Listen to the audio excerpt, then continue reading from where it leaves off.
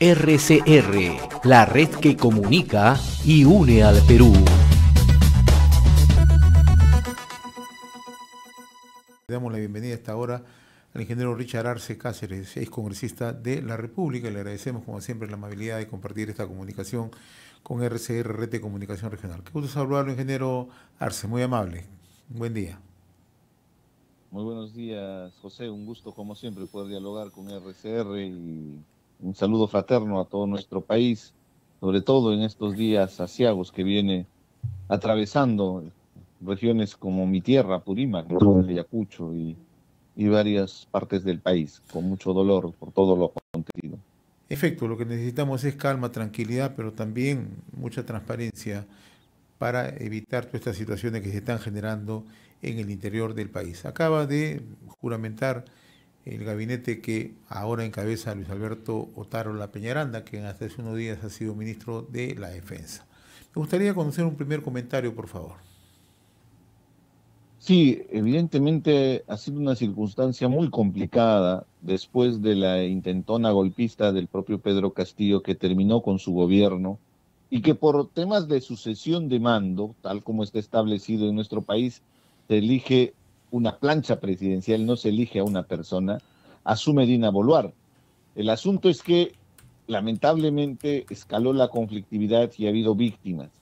Y esto tiene un costo político, ¿no? Y el costo político tiene que ser asumido justamente en el gabinete. Y entiendo que va por ahí la, la decisión que ha tomado el gobierno de hacer un cambio, una remoción de algunos miembros, en especial del presidente del Consejo de Ministros, y que es importante empezar a trabajar el tema de la paz social, ¿no? Yo creo que es clave en esta circunstancia, en vista que estamos viviendo una especie de tregua navideña, tal como lo titulé el día de hoy, un artículo publicado en un diario importante, donde tienen que abocarse justamente a tender puentes de diálogo para llegar a un consenso, porque lamentablemente el Congreso de la República, que es el actor determinante, porque el único que puede hacer adelanto de elecciones, que es la principal demanda de la población, lo hace el Congreso de la República.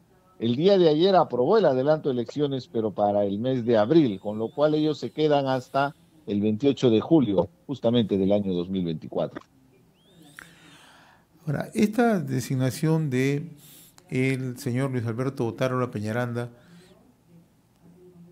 ¿cuál cree usted, usted ha conversado hace unos días con la presidenta de la República, Dina Boluarte, cuál va a ser el horizonte, cuál va a ser el norte de el gobierno, sobre todo encabezado por el presidente del Consejo de Ministros, Alberto Otárola, que tiene mucha experiencia, pero además tiene, todos indican, mayor manejo político, que es lo que se reclamaba. ¿no? En esa línea, ¿cuál cree usted que va a ser el trabajo que tenga que desempeñar? Entendiendo que además esto es un gobierno de transición, ¿no? Usted lo ha dicho, y yo parto de esa última frase porque esto es un gobierno de transición. Entonces la estrategia tiene que ser de transición de gobierno, con lo cual no estoy diciendo que tiene que desligarse de la responsabilidad importante de gobernar al país. Porque también, José, seamos sinceros, en 17 meses de gobierno de Pedro Castillo prácticamente ha estado funcionando el piloto automático. Pedro Castillo se ha dedicado a otras actividades, inclusive vedadas, ¿no? Y sobre todo protegerse de la de las investigaciones de la justicia que lo involucraban con actos de corrupción.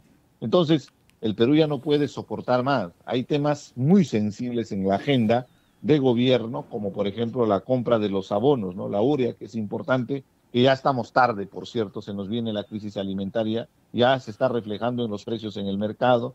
Tú vas, el kilo de papa está sobre los 7 soles, y eso, si encuentras el producto. Y probablemente esto va a seguir eh, en, una, en un espiral que lamentablemente va, a pasar de factura sobre todo a los sectores más precarios de nuestra patria. Ahora, hay otros temas importantes en la, en la misma gestión de gobierno ¿no? que se tienen que abordar respecto a tema de responsabilidad fiscal, los conflictos sociales en torno al corredor minero, porque la única fuente de ingreso que tenemos importante viene de la actividad minera.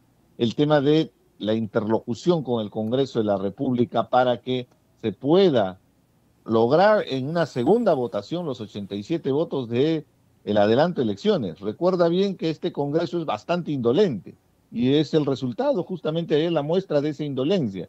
Y vaya a saber Dios si hasta el 31 de enero que dura la presente legislatura, que quiere decir el primero de febrero, se convoca una nueva legislatura. No se les va a ocurrir ahí en el Congreso que tienen que seguir en el verano y tienen que estar en sus casas de playa y hay que esperar todavía a marzo, como normalmente se apertura la siguiente legislatura, con lo cual sería una afrenta contra el país. Y eso, hay otro detalle, y vaya a saber Dios si tendremos los 87 votos en una segunda legislatura. Caso contrario, se va a convocar a un referéndum, con lo cual ya no sería las elecciones el, en febrero del 2000, perdón, en, abril de 2024 y probablemente prolonguen más su estancia, porque la lectura que tengo es que ellos quieren aferrarse al cargo sea como sea. Entonces, ¿qué escenario nos espera? Si bien es cierto, se ha aprobado en primera instancia el adelanto de elecciones generales para abril del 2024, usted señala que en segunda votación tiene que lograrse los 87 votos, que es una votación calificada, entendiendo que es una reforma. Entonces, si esto no ocurre, ¿qué escenario nos espera? De mayor conflictividad, seamos claros, y la responsabilidad directa en el Congreso de la República. Por eso es importante la gestión de este nuevo gabinete bajo la dirección de la presidenta para que ellos se centren en dialogar, en comunicar, en informar al país para que se entienda que el que está fallando es el Congreso de la República. Y lo más importante, ¿no? Empezar a gobernar. Hay una desazón de un gran sector de la población por la ausencia de ese Estado, que es histórico, soy consciente de ello, pero no se ha estado gobernando. Entonces es clave el rol que tendrá que asumir el señor Otárola como premier, los ministerios y que se pongan a trabajar. Ah, no hay semana navideña, no hay feriado navideño ni de Año Nuevo, menos hay fiesta acá tienen que prepararse a lo que puede acontecer en la siguiente semana de Año Nuevo, donde ya están manifestándose claramente que nuevamente quieren organizar movilizaciones sociales. Entonces hay que estar muy atentos, ya no podemos seguir desangrándonos como país. Y lo más importante, busquemos un consenso que se entienda la importancia del adelanto de elecciones. Pero ¿quién es el actor? El Congreso. Por eso, desde mi punto de vista, es que tenemos que arrinconar al Congreso de la República para que entienda esa responsabilidad que recae sobre sus hombros y pueda responder con la responsabilidad que corresponde y, y proceder con la aprobación de la reforma constitucional lo más pronto posible. Lo otro, ¿cómo tranquilizamos la calle? ¿no? Entendiendo que hay demandas que son atendibles, que son justas, pero también hay demandas que están por encima de una situación real de la que vive el país. Pero también hemos visto que se han cometido excesos, hay que serlo, hay que ser muy puntual, de parte también de la forma como ha actuado la policía, las Fuerzas Armadas, de la misma manera, en el otro lado, también hubo bastante violencia. Entonces, ¿cómo tranquilizamos la calle? ¿Cómo morigeramos esta situación? José, definitivamente cuando hay muertos de por medio, definitivamente que es una responsabilidad y un costo muy grande y que ha fracasado inclusive la estrategia de, del manejo y la gestión del conflicto, ¿no? Pero estamos en un escenario donde yo diría que es un conflicto social atípico, yo llamaría más bien un conflicto político, porque no hay interlocutores con los cuales tú vas a generar un espacio de diálogo. Acá son manifestaciones en diferentes regiones entonces, la estrategia tiene que ser sectorial. ¿A qué me refiero? Se tiene que trabajar por regiones, por demandas.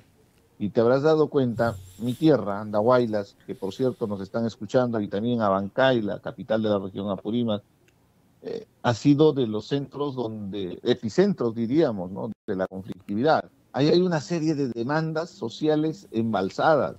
Hay una desatención permanente del Estado y que genera una profunda frustración y, es legítimo las movilizaciones. Por eso yo quiero ser muy crítico también con las posiciones expresadas por los políticos esta semana, ¿no? Porque de la extrema derecha lo que han estado haciendo es terruquear a todo el mundo. Para la extrema derecha, mis hermanos de Andahuay, las de Apurima, los que se manifiestan, todos son terroristas. Y hay que meterles bala para imponer el Estado de Derecho, para imponer el orden, lo cual es realmente una, una ofensa ha habido infiltración, eso es innegable. Y también maledicencia justamente de estos sectores infiltrados que han atacado propiedad pública, privada. Pero ojo, eso es la extrema derecha. que no se estén frotando las manos la extrema izquierda, porque en realidad ellos también son responsables por estar atizando la conflictividad con los mensajes, con la provocación, las convocatorias. Debe recordar lo que ha estado expresando Betsy Chávez, el propio Bermejo. Realmente irresponsable la actitud de generar más conflicto, ¿no? Echar leña al fuego. Y a eso quería llegar porque es la angurria de los políticos, tanto de la extrema derecha como de la extrema izquierda, que nos está llevando a esta situación de confrontación entre peruanos. Y eso hay que manifestarlo abiertamente. Entonces la estrategia desde el gobierno es más bien una comunicación mucho más directa, de llegar a la población, atender sectorialmente una serie de demandas y plantear claramente que la responsabilidad recae en el Congreso y que el adelanto de elecciones se va a dar, que hay un desprendimiento del gobierno actual para que se dé ese adelanto de elecciones y que se ha fracasado. Este es un periodo fracasado. Por eso es que Pedro Castillo ha sido defenestrado justamente por su negligencia. Él mismo cometió el autogolpe al estilo Alberto Fujimori, 5 de abril del 92, es lo mismo que el, el 7 de diciembre del 2022. ¿no? Entonces, objetivamente, en ese escenario, lo que le corresponde a este nuevo gabinete es tender los puentes de diálogo, poner paños fríos en el escenario y mostrar una buena predisposición, humildad. Hay que también atender a las víctimas, ¿no? Resarcimiento, hay que estar detrás del sistema de justicia para que también se investigue y se halle los responsables de las muertes.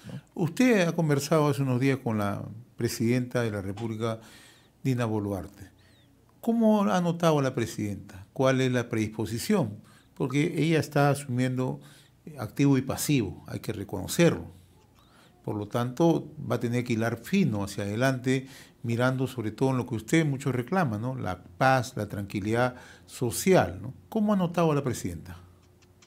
Sí, yo recibí una llamada de parte de la presidenta que gentilmente me invitaba a poder participar dando sugerencias como ciudadano, ¿no? En estos espacios de gestión de crisis que se llama, donde presiden el Premier y los ministros de Estado. El asunto es que es interesante de parte del gobierno esa predisposición para escuchar, ¿no? Porque muchas veces cuando están en el gobierno más bien hay una especie de divorcio con la, con la realidad. Yo resalto mucho ese aspecto, ¿no? Yo lo que he notado es eh, esa predisposición y esa profunda preocupación por lo que viene aconteciendo con el país. Ahora bien, las decisiones las toma ella en conjunto con su gabinete de ministros. Esperemos que este nuevo gabinete dé un mensaje importante al país, ¿no? Con trabajo, con esfuerzo, tiene que recuperar la confianza, eso es clave, ¿no? Y también se lo manifesté en su momento, ¿no? La necesidad de tender puentes de diálogo, de hacer gestos de confianza con la población para que esto se distienda. ¿no? El objetivo es la paz social, José, y si podemos contribuir desde cualquier esquina, desde hasta como ciudadanos, yo creo que es valioso. En esta circunstancia, lo que nos convoca a todos y a todas es que apoyemos a que se logre la paz social, no más muertos, ¿no? Creo que esa es la consigna. Yo le agradezco, ingeniero Richard Arce, esta comunicación con RCR, Red de Comunicación Regional. Vamos a seguir dialogando para analizar lo que ocurre en nuestro país. Momentos bastante difíciles, retos que asume el gobierno de Dina Boluarte, pero hay que hacer un esfuerzo conjunto. De eso se requiere mucha fe, pero además mucha decisión política. Le agradezco la amabilidad y le deseo... de acuerdo, José.